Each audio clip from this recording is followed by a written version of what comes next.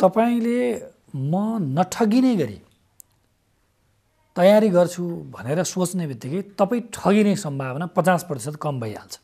किन भन्दा तपाईँ म ठगिन चाहन्न भन्नुभयो नि त। ठगिन चाहन्न भन्ने बित्तिकै त्यो अनुसारको तयारी थाल्नु पऱ्यो। पहिला कुन कुन मेन पावर कम्पनीहरू आधिकारिक मेन पावर कम्पनी हुन्? वैदेशिक रोजगार विभागको वेबसाइटमा गएर हेऱ्यो भने सर त्यहाँबाट देख्न सकिन्छ। तपाईँलाई त्यो कुरा हेर्न देख्न गाह्रो भयो। तपाईँलाई त्यो प्रविधिसित त्यति परिचय छैन भने तपाईँ जाने जिल्लामा रहेका धेरै कामदार जाने जिल्ला सदरमुकामहरूमा सूचना दिने केन्द्रहरू छन्। वैदेशिक रोजगार सम्बन्धी सूचना परामर्श केन्द्रहरू छन्।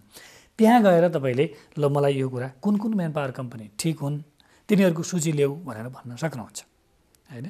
तपाईँलाई आफैलाई प्रविधिसित ज्ञान छ भने आफ्नै मोबाइलमा त्यसलाई हेर्न सक्नुहुन्छ।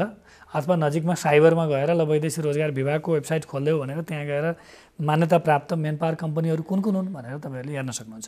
ती मेन पावर कम्पनीको सम्पर्क नम्बर तपाईँहरूले प्राप्त गर्न सक्नुहुन्छ। तपाईँले आफैले सूचना सङ्कलन गर्ने सूचना तथा परामर्श केन्द्रमा जाने विभिन्न सञ्चार माध्यमहरूबाट आएका सूचनाहरूलाई सङ्कलन गरेर त्यसको आधारमा थप सोधखोज गर्ने बित्तिकै तपाईँ उपयुक्त मेन पावर कम्पनीमा पुग्न सक्नुहुन्छ। तपाईँ ठगिने कुरा त्यहीँबाट हराएर जान्छ।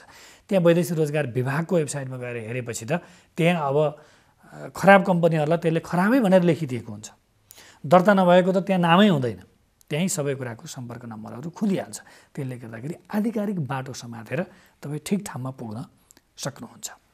र एक ठाउँबाट मात्रै सबै कुराको सूचना विश्वास चाहिँ गर्न हुँदैन। तपाईँ नठगिने भन्ने बित्तिकै तपाईँले के गर्नु पऱ्यो भन्दा त्यो सूचना दुई तिन ठाउँबाट भेरिफाई गर्नु पऱ्यो एक ठाउँमा सोध्नुभयो एउटा सूचना लिनुभयो। अर्को ठाउँमा जानुहोस्। त्यसले यस्तो भनेको छ ठिक छैन भन्नु परेन।